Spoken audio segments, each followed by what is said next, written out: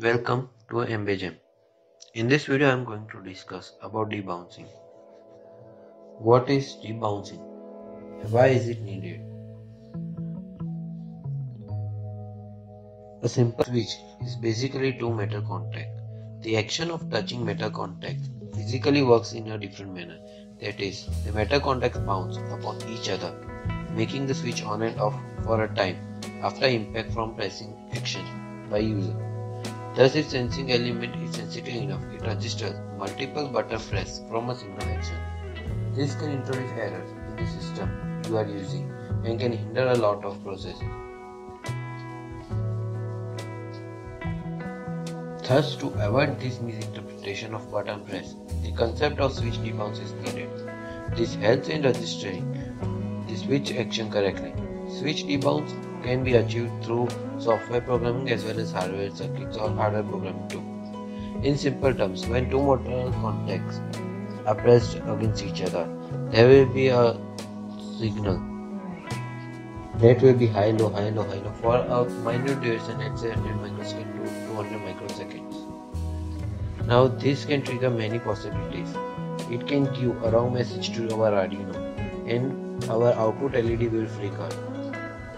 Thus, to avoid this type of errors uh, from the tactile switch or any switch, debouncing software is needed. Here is a simple circuit. Just connect uh, the any resistor 100 ohm or 330 ohm, it will do. And connect it to pin number 7. Now let's go through some code.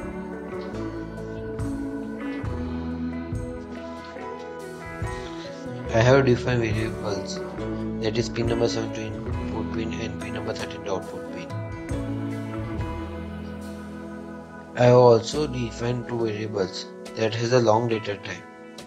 Because of the millis that we are going to use millis function we are going to use in this code. The 200 value is assigned to the debounce variable.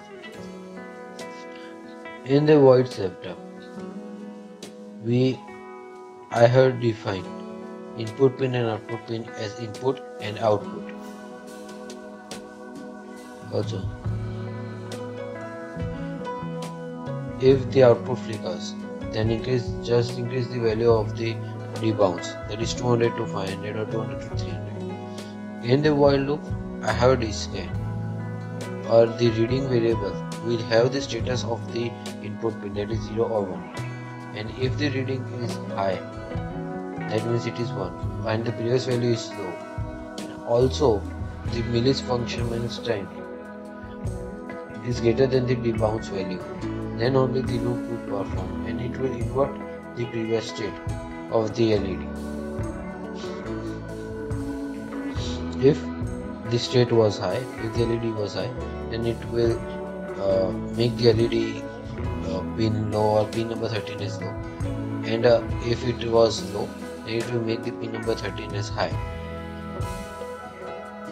And after this is executed we will just update the pin that it should be high or low.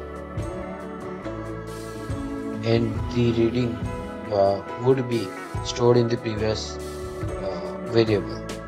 Let's compile the code and upload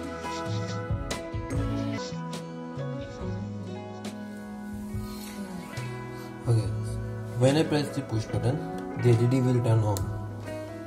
When I push it, press it again, then the LED will be off.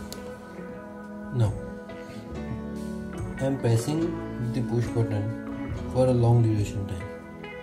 See, the LED will be light up, but I have still pressed the push button and the LED is not flickering, means on and off, on and off. It stays in the uh, pre, uh, in the present state only.